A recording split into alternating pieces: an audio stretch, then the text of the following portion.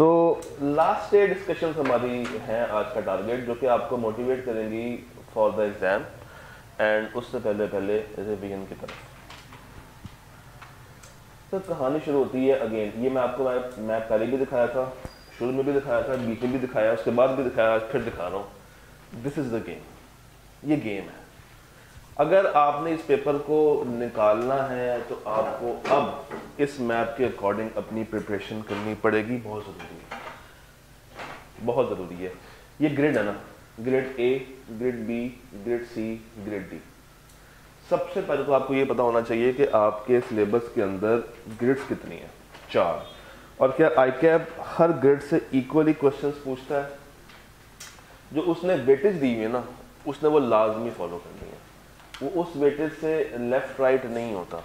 बहुत ही रेयर है, अगर वो होगा भी तो। तो देख ले, पंद्रह से पच्चीस, इक्कीस परसेंट। पंद्रह से बीस, पंद्रह। पैंतालीस से पचपन, पचास, पूरे पचास ऑन एवरेज जा रहे हैं। दस से पंद्रह ऑन एवरेज चौदह। और ये एवरेज न्यू स्कीम की नहीं है, ये एवरेज है ऑटम 2014 से लेके। न्यू स्कीम की बात कर लेते हैं। ये, जो कि स्प्रिंग बाईस से स्टार्ट हुई है। पंद्रह से पच्चीस पंद्रह से बीस और हमेशा वो मैक्सिमम साइड पर है। बीस बीस, उन्नीस और बीस। पैंतालीस से पचपन फिफ्टी एट और forty eight forty six thirty seven और फिफ्टी रिसेंट अटेम्प्ट में ग्रेड सी में से पूरे पचास नंबर का पेपर आई के अपने टेस्ट किया। और अगर मैं उसको थोड़ा सा मजीद प्रेजेंट करूँ एक अच्छे पैटर्न में तो ये हमारे पास कुछ छः चैप्टर्स निकलते हैं, तीन एरियाज़ निकलते हैं, जहाँ से आप on average you can say around 80 percent of the paper new time देख लेते हैं न्यू स्कीम में 78 78 के बाद seventy six eighty six eighty three और 58 62 72 तो 72 ये सबसे कम है यहाँ पे और 79 प्लस फोर एटी यानी कि स्प्रिंग तेईस में, तिरासी नंबर का पेपर था। सिर्फ़ छः चैप्टर्स और तीन टॉपिक्स तो तैयारी करते हुए इन चैप्टर्स को ज़्यादा परवेसिव वे में तैयार करना है। अगर नीचे से कोई एक एरिया हल्का भी रह जाए तो कोई परेशानी वाली बात नहीं है। मैं कहता हूँ, आपका चैप्टर नंबर टेन सही नहीं तैयार हो पा रहा। कोई मसले वाली बात नहीं है। अगर ये गेम आपने तैयार की है ना तो यह, इसको फिर कवर करना एग्ज़ाम में भी आसान। डॉक्यूमेंटेशन आपने रिवाइज नहीं किया, कोई मसले वाली बात नहीं है। रिसेंट टाइम्स के अंदर कुछ नहीं जिसने पूछा। Chapter four except two thirty यानी कि सैम्पलिंग और एविडेंस चार चार नंबर चार नंबर नौ नंबर तीन नंबर फिर खाली ब्लॉक है, फिर दस नंबर फिर खाली ब्लॉक है, फिर चार, सात, तीन। कोई मसले वाली बात नहीं है। मगर ये छः chapters fourteen three thirteen five six eleven और इसके बाद तीन एरियाज़ कंफर्मेशन कंपनीज़ एक्ट और टू टेन ये आपका बेहतरीन तैयार होना चाहिए। मशवरा मेरा ये है कि चैप्टर नंबर ट्वेल्व को भी आप उठा के अगर यहाँ पे क्लासीफाई कर लेना तो गेम और आसान हो जाएगी आपके लिए, क्योंकि इलेवन और ट्वेल्व को हमेशा, उस पर ये मूड हमेशा से रहा है कि उसको वो ऑल्टरनेट लेके चलता है। कभी ट्वेल्व पूछ लेगा, कभी इलेवन पूछ लेगा, और फिर ट्वेल्व के अंदर भी उसके बाद दो ऑप्शन हैं। या सिक्स टेन पूछ लेगा, या सिक्स ट्वेंटी पूछ लेगा। तो ज़िंदगी में जब भी परेशान होंगी पेपर पास कैसे करना है, इस पेपर के अंदर मैं कहाँ पे खड़ा हूँ जस्ट मेक श्योर कि आपके ये छः चैप्टर्स अगर तैयार हैं तो गेम कवर्ड है। और बाय तैयारी से मेरा मुराद ये है कि आपने इसके सवाल सारे के सारे एटलीस्ट सारे के सारे लिख के किए होंगे। बहुत ज़रूरी। नीचे वालों के कुछ सवाल हो गए, कुछ नहीं हुए, कोई टेंशन वाली बात नहीं है। फोर्टीन थ्री फोर्टीन थ्री और थर्टीन ये तीन चैप्टर्स ऐसे हैं जिनको आप कभी भी हल्का नहीं ले सकते। You have to prepare it and you have to prepare it एक ये चीज़ मैंने आपको शुरू में दिखाई थी चैप्टर बाई चैप्टर अप्रोच परेशान है, समझ नहीं आ रहा कि आई कैप ने यहाँ से लॉजिकल सवाल पूछना है, यहाँ से एप्लीकेशन बेस्ड सवाल पूछना है या समिक सवाल पूछना है। तो आप इसको इस्तेमाल कर सकते हैं। चैप्टर वन तो आपको पता है कि वन में क्या क्या है। एक एरिया है कंपनीज़ एक्ट और एक उसके अलावा। तो कंपनी एक्ट क्या है बेसिकली एप्लीकेशन बेस्ड और उसके अलावा क्या है हमारे पास? सारा का सारा नॉलेज बेस्ड चैप्टर टू सारा का सारा क्या है? नॉलेज बेस्ड इससे क्या मुराद है? क्रैमिंग वाले सवाल. इससे लॉजिकल सवाल और यहाँ से मिक्स क्वेश्चन कभी लॉजिक कभी एप्लीकेशन के सवाल. यूनिट वन प्लानिंग और एनपीओ को छोड़ के सारे का सारा क्या है? एप्लीकेशन बेस्ड है. फ्रॉड से कभी वो रटा पूछ लेता है. आपको याद होगा फ्रॉड में दो तरह के सवाल थे प्रोसीजर्स और आइडेंटिफिकेशन ऑफ़ फ्रॉड फैक्टर्स तो मिक्स सैम्पलिंग को छोड़ के सारा चैप्टर क्या है? नॉलेज बेस्ड और सैम्पलिंग मिक्स कभी रटा कभी लॉजिक चैप्टर फाइव सारा का सारा नॉलेज बेस्ड है. Chapter six mix chapter seven ratios को छोड़ के नॉलेज बेस्ड है. रेशोज मिक्स हैं. एट नाइन और टेन ये क्रैमिंग है, मगर 505 में से वो दो तरह के सवाल निकालता है. इसी तरीके से 11 12 प्योर क्रैमिंग है। 13 के अंदर रिस्क वाले सवाल लाजमी उसने यहाँ भी पूछने हैं एप्लीकेशन बेस्ड में। 15 चैप्टर कुछ भी नहीं है, फिर 700 701 और कंपनी लॉ की रिपोर्ट ये नॉलेज बेस्ड है। 705 706 एप्लीकेशन बेस्ड है और 60 70 80 यानी कि गोइंग कंसर्न सब्सिक्वेंट इवेंट और रिटर्न रिप्रेजेंटेशन यहाँ से आप हमेशा मिक्स क्वेश्चंस ही एक्सपेक्ट करेंगे एग्ज़ाम के अंदर। कोई भी चैप्टर तैयार करने से पहले आपको इतना पता होना चाहिए कि आपने उससे तैयार करना क्या क्योंकि अब आपके पास आगे जाके टाइम हो जाएगा स्क्वीज आफ्टर दिस वीक कितना टाइम रह जाएगा हमारे पास? महीना। महीना। नहीं, चार क्वार्टर का तो नहीं है ना? ग्यारह क्वार्टर का। तो आपके पास तकरीबन तकरीबन आई कैन से पाँच एक हफ़्ते होंगे, पैंतीस दिन। और यकीन मानिए, पैंतीस दिन में ये पेपर तैयार हो सकता है। क्यों? क्योंकि आप लोगों के पास at least to have a sufficient base knowledge अब उसको उठाएँ रिविजन करें। Then there are some general tips कुछ टिप्स हैं, क्योंकि मैं चाहता हूँ कि आप इसको भी लेके चलें अपने साथ साथ सबसे पहले अंडरस्टैंडिंग हासिल करनी है। उसके बाद आपने किताब को रीड करना किताब को रीड कर लिया go to words making mind maps नहीं याद हो रहा जो बातें किताब में लिखी हुई है, मगर नॉलेज है तो कोशिश करके इसको अपने अल्फाज में लिखें try to write in your own words आप लोग पहुँच जाएँगे। रिवाइज करें। किताब से भी कर सकते हैं, और अगर बेहतरीन बात पूछें तो अपने बनाए हुए नोट्स से ही इसको रिवाइज करने की भी कोशिश करें। Then do some basic assessment past papers के दो तिहाई सवाल उठाएँ। उनको पढ़ें अंडरस्टैंड करें आंसर डेवलप करें और अपने आंसर को मैच करें। ये बहुत ज़रूरी है। और ये दो तिहाई सवाल करने किस तरीके से है? सवाल देखा? सवाल पढ़ा? अगर तो सवाल स्ट्रेट फॉरवर्ड है। और आपके दिमाग में है कि यहाँ से ये चार बातें आनी है। और वो सवाल तीन दफ़ा अगर रिपीट भी हो रहा है तो आप उसको एक दफ़ा करना है। उसको तीन दफ़ा करने की ज़रूरत नहीं है। बट अगर वो सवाल थोड़ा सा चेंज है या पहले आई के आपने उस एरिया से रटा पूछा, बाद में एक लॉजिकल सवाल पूछ लिया, जिस तरह आपको याद होगा टू टेन में सारे सवाल प्राइमिंग बेस्ड है, सिवाय एक सवाल के। तो जो वो सवाल है that can be your benchmark आप उसको इस्तेमाल करते हुए लॉजिकल सवाल के अंदर कैटेगराइज करके उसको लिख सकते हैं। आंसर डेवलप करें। फिर डेवलप करने के बाद एग्जामिनर कमेंट्स लाजमी देखिएगा।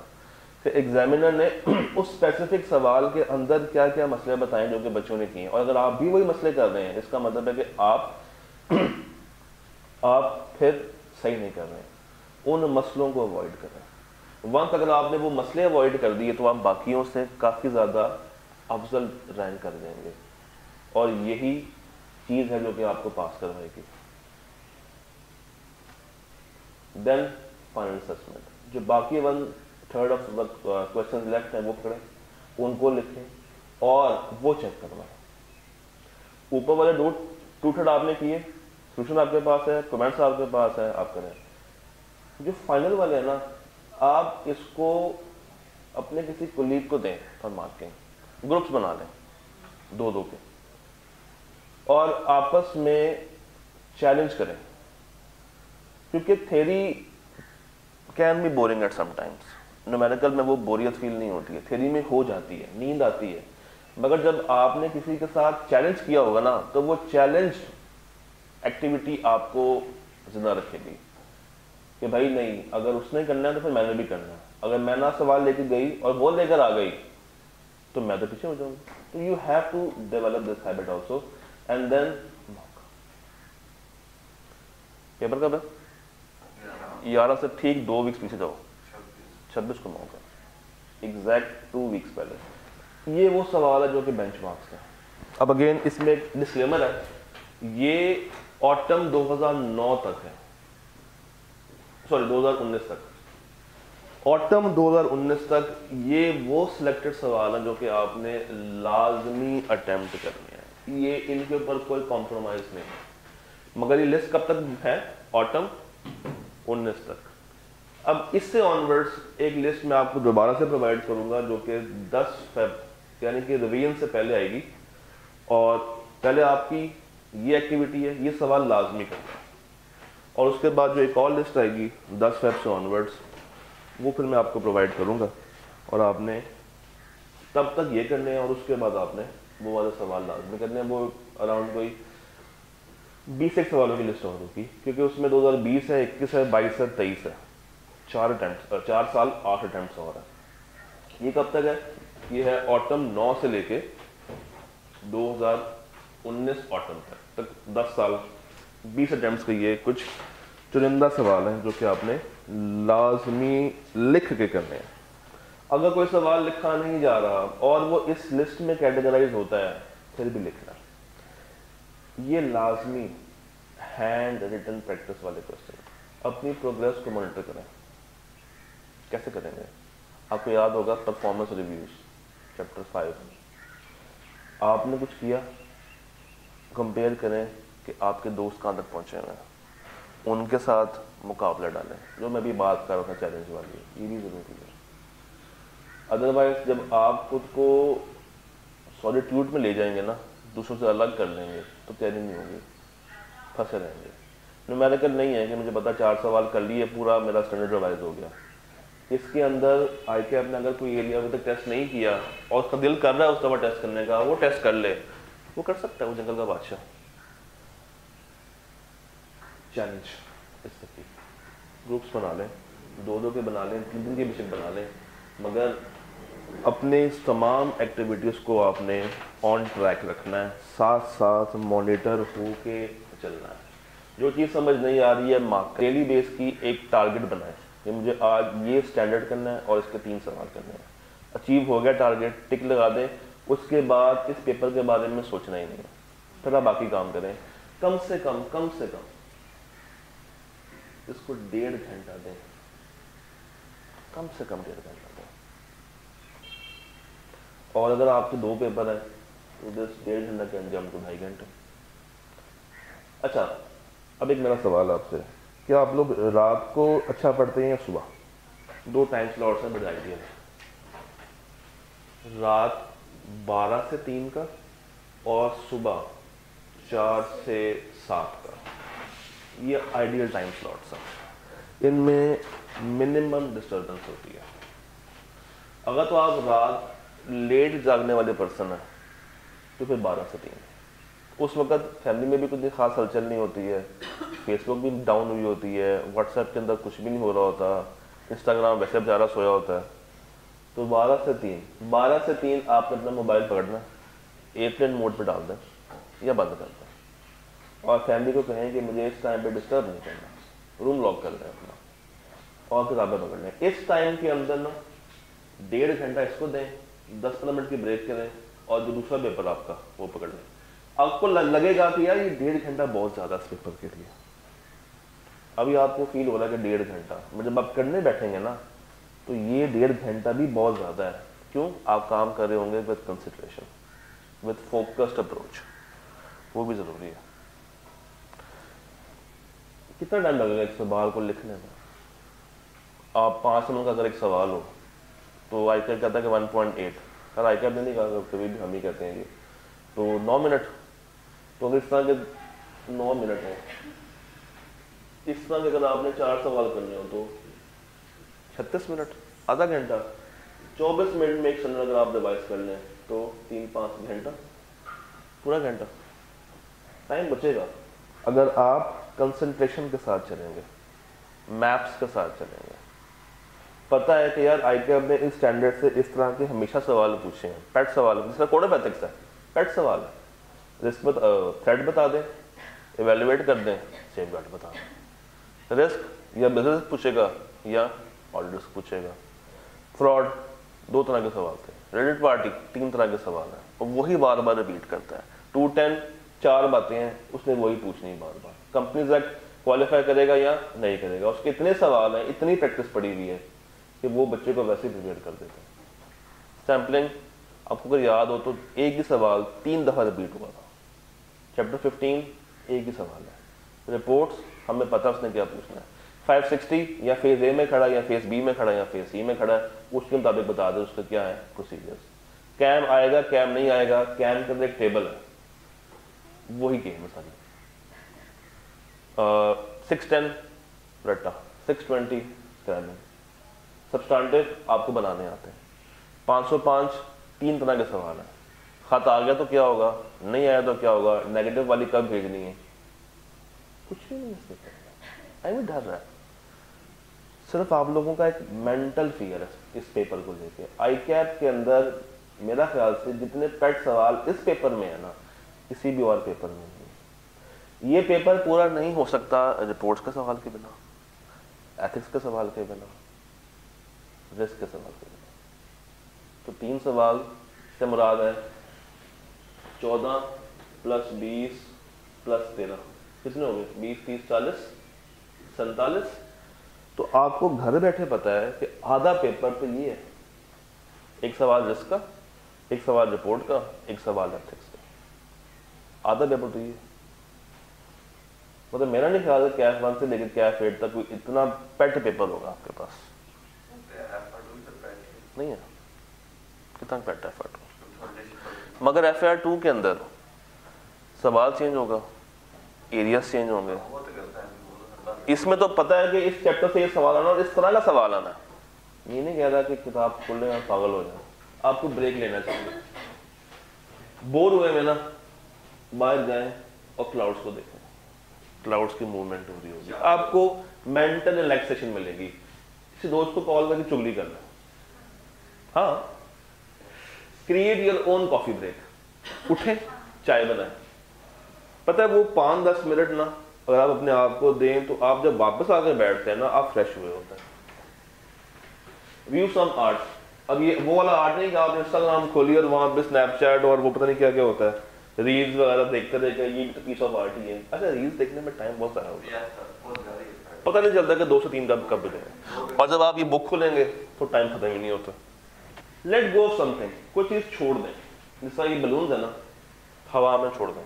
जहाज़ बना के उड़ाना शुरू कर दें मगर किताब के नहीं। और चलो आप लोग किताब के पेजेस फाड़ के जहाज़ बना के उड़ाना शुरू कर देंगे ये स्टैंडर्ड तैयार हो गया। चलो जी। ये काम नहीं करना हाँ? बाइक राइड कर लें जॉगिंग पे चले जाएँ turn off all the electronics उठें घर की सारी बिजलियाँ बंद करना शुरू कर दें। बिजलियाँ। ये स्विच वगैरह घर वालों ने कहा, मगर ये काम कब करना आपने इस टाइम पे कर अच्छा कोई राइट अ जर्नल अच्छा देखो ना अंग्रेज़, वो कहते हैं कि राइट अ जर्नल ये एक ब्रेक है। उनको क्या बता कि इन मासूमों से एक सवाल लिखने में तकलीफ़ हो रही होती है। तो खैर there are many ways to take a break ये तो खैर एक स्लाइड है। मगर you can decide your own break जो चीज़ जो चीज़ आपको पसंद है, वो करें। इवन अगर आपको लगता है कि आप रिलैक्स हो सकते हैं, दस मिनट के लिए व्हाट्सएप इस्तेमाल करके आप वो करना anything which satisfies your brain you should do that तीन घंटे का वॉक देना बहुत ज़रूरी है। उसके बेनिफिट्स क्या होंगे? आपको मिलेगी राइटिंग प्रैक्टिस आपको सेल्फ असेसमेंट का मौका मिलेगा। फिर जिस्मानी एक एक्सरसाइज होगी कि तीन घंटों के अंदर मुझे ये पेपर मुकम्मल कैसे करना है। चैप्टर वाइज टेस्ट देना आसान है। इवन मिड देना भी आसान है। क्यों पता है? गिनती के चार, पाँच छः छः चैप्टर मगर तीन घंटे का मॉक तीन घंटे टिक के बैठना प्रेशर में बैठना, उसको पूरा करना और सिर्फ़ एक पेपर का नहीं है, सबका दें। यहाँ का भी दें, बाहर का भी दें। जो जो मिलता है दें। लाजमी दें। टाइम मैनेजमेंट की प्रैक्टिस आपको मिलेगी। कि आपने तीन घंटों में पेपर पूरा कैसे करना अभी इसके बारे में बात करते हैं। और आपको एग्ज़ाम से दो हफ़्ते पहले अपनी वीकनेस आइडेंटिफाई हो जाएगी कि आप लोग कहाँ पे लैक कर रहे हैं। भाई मॉक दिया, मुझे समझ आ गई है कि मेरा रिस्क का एरिया अभी कच्चा पक्का है। रिपोर्ट्स का एरिया स्ट्रॉन्ग है, मैंने बड़ा अच्छा परफॉर्म किया हुआ है। एथिक्स का एरिया भी स्ट्रॉन्ग है, मैंने बड़ा अच्छा परफॉर्म किया हुआ है। मगर मगर रिस्क एक ऐसा एरिया जो कि मुझे अभी प्रैक्टिस करने की मजीद ज़रूरत है you have a sufficient time of at least two weeks और आप लोग कहेंगे कि सर, हमारा पेपर फ़र्स्ट वीक में भी होता है। तो कोई बात नहीं still you have a week still you have a week तो ये एक बहुत ज़्यादा ज़रूरी चीज़ है। You have to give full length mock of three hours and not just of this college बहुत सारे इंस्टीट्यूट बनाते हैं कंडक्ट करते हैं। पब्लिकली मॉक हमेशा पब्लिकली अवेलेबल किया जाता है। हम लोगों ने लास्ट टाइम एक प्रैक्टिस की थी। हम लोगों ने रिकॉर्ड मॉक्स लिए थे एस के अंदर लास्ट सेशन में। दैट वाज अ रिकॉर्ड हर सब्जेक्ट के मिला के हमारे पास 2500 प्लस मॉक्स थे। और वो बच्चों को चेक होकर वापस भी किए गए थे। तो आए मॉक दें, उसका सोल्यूशन लें अगर आप एनरोल्ड हैं तो डेफिनेटली वो मार्क भी होगा। क्यों? आपके कोर्स का पार्ट है। अगर आप प्रिपेयर नहीं भी है ना, फिर भी एटलीस्ट अपनी बॉडी को उस कंडीशन में लाएँ। आई थिंक तो जाके तीन घंटे बैठना ही है ना। यहाँ पे तीन घंटे बैठ कर देखें कि आप कहाँ तक उसको अचीव कर पाते हैं।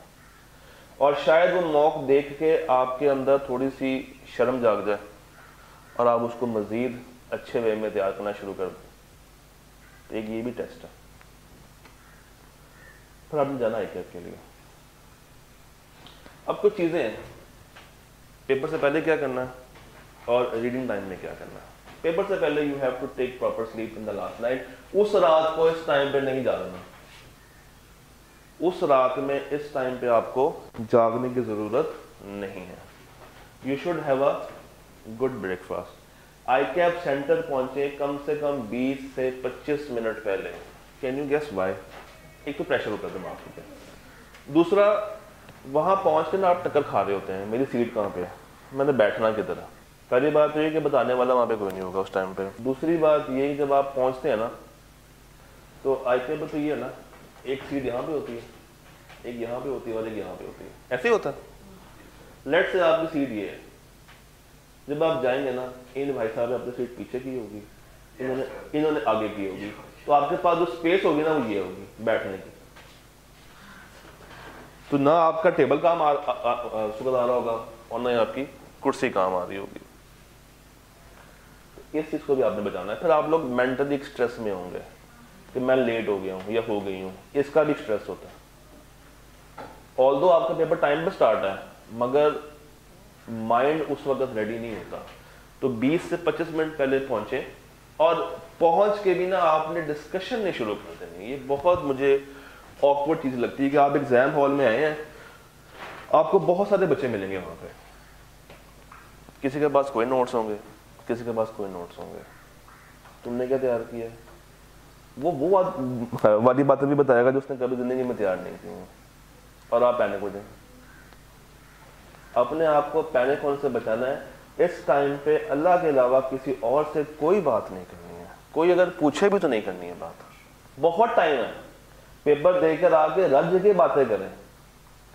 मगर इस टाइम पे नहीं करनी है। और अगर आप लोग किसी गाड़ी में हैं या फैमिली के साथ गए हुए हैं, या गाड़ी में वहाँ पे स्टे करना है तो आप पहुँचे और उसके बाद फिर गाड़ी में रहें। गाड़ी में बैठ के अपना अगर रिवाइज करना चाहते हैं तो रिवाइज कर लें।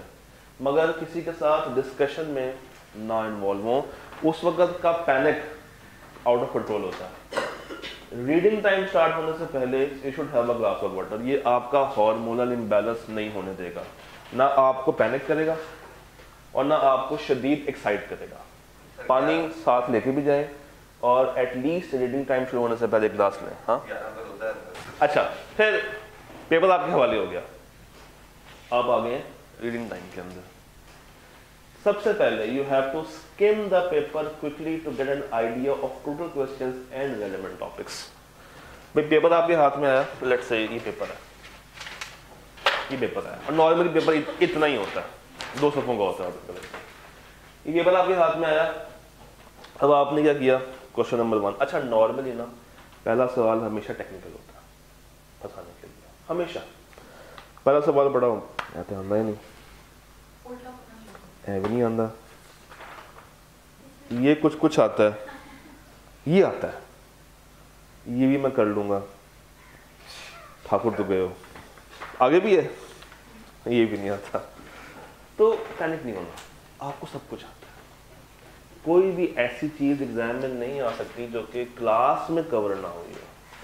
जितनी बातें क्लास में हुई हैं, उन्हीं में से पेपर में सेट होकर आना है तो आपने क्या करना है आपने पेपर को पकड़ के पहले स्किम कर लेना। स्किम से मुराद होती है कि आपने देखना है कि टॉपिक्स कौन कौन से आएँगे ऐसे ये कंपनी एक्ट का सवाल है, ये सैम्पलिंग का सवाल है, ये सवाल एथिक्स का आ गया। अच्छा उसके बाद अच्छा ये रिपोर्ट्स का सवाल आ गया, ये फाइव सेवेंटी का सवाल मुझे आता है। ठीक है माइनर का सवाल है डन माइनर कह गया हूँ। एक्सपर्ट का सवाल है डन सब यहाँ पे माइनर लिखा हुआ था। एक्सपर्ट का सवाल है डन सवाल कंप्लेक्ट का आ गया ओके हाँ ये एक वो सवाल आ गया रिस्क वाला। चलो, मैं कर लूँगा, मुझे आता है। ये करना। फ़र्स्ट फिफ्टीन मिनट्स भी आपकी टोन सेट करते हैं। पहले पंद्रह मिनट में अगर आपने एक सवाल को पकड़ के उसके पीछे पढ़ गए ना तो फिर ना तो आपको पता होगा कि बाकी पेपर में है क्या। और वो सवाल, जो फिफ्टीन मिनट्स में आपने तैयार किया है, लिखने में फिर भी उतना टाइम लेगा। तो आपने सिर्फ़ आइडिया लेना है कि सवाल कितने हैं पार्ट्स कितने हैं। और कौन कौन सा टॉपिक आया।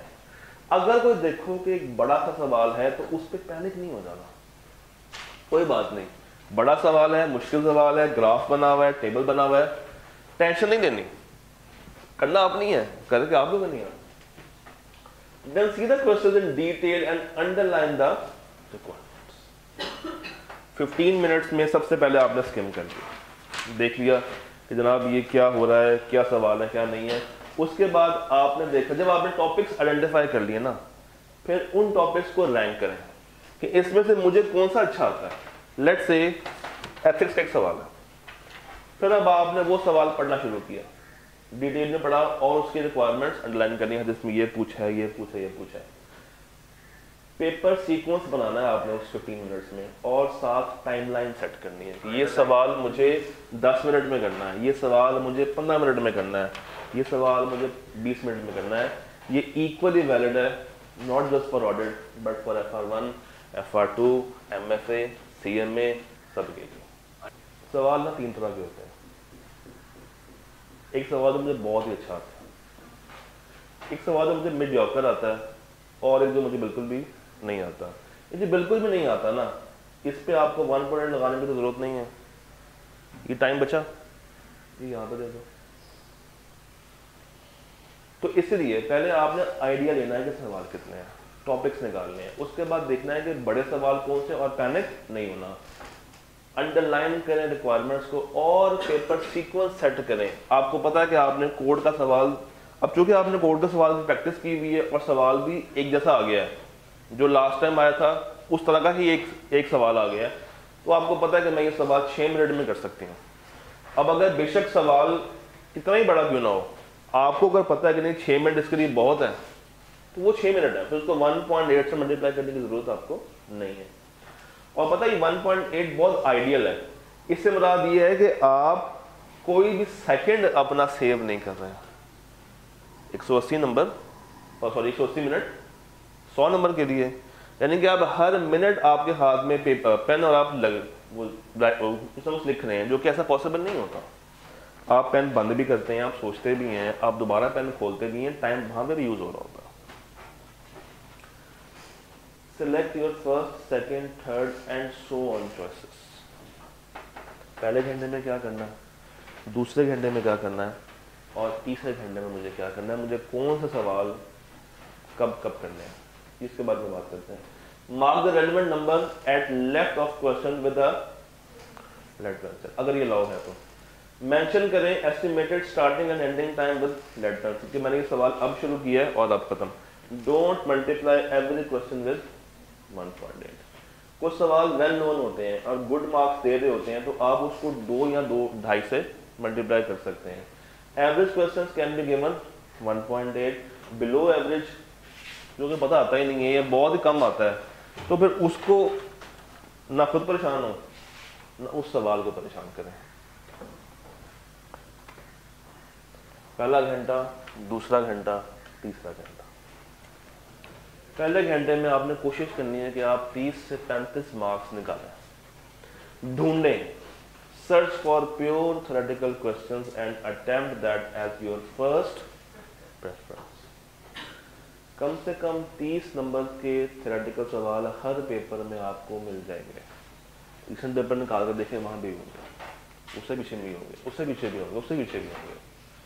तो ये हमेशा रेशो थर्टी बाय सेवेंटी की होती है। और अगर मैं बहुत ही स्क्वीज करूँगा ना तो पच्चीस और पचहत्तर की रेशो बन सकती है। This would give you confidence to move on अगर टाइम बच गया। तो कोशिश करके पहले घंटे में आप कोड का सवाल शुरू कर सकते हैं। क्यों? सब सवालों में से एक पेट सवाल ये है।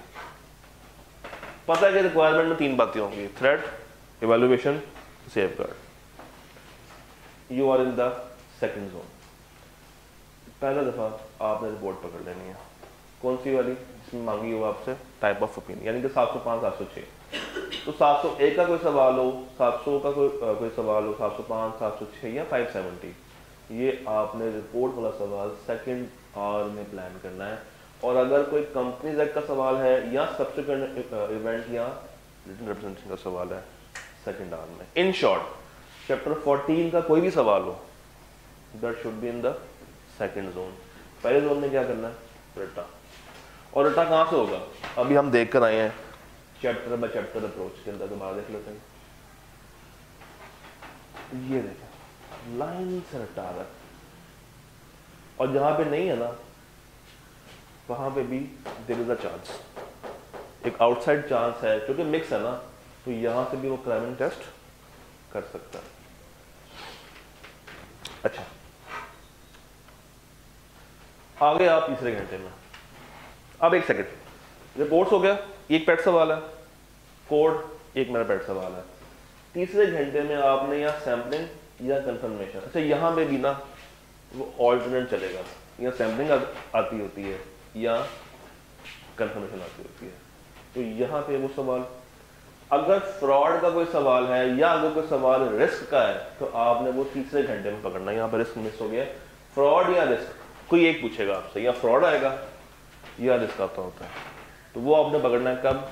तीसरे घंटे में और जो सवाल आपको डिफ़िकल्ट लग रहा है, या अंडरस्टैंड नहीं हो रहा, वो आपने तीसरे घंटे में प्लान करना है, उसको यहाँ यहाँ पर शुरू कर देंगे तो सारी गेम खराब कर देंगे।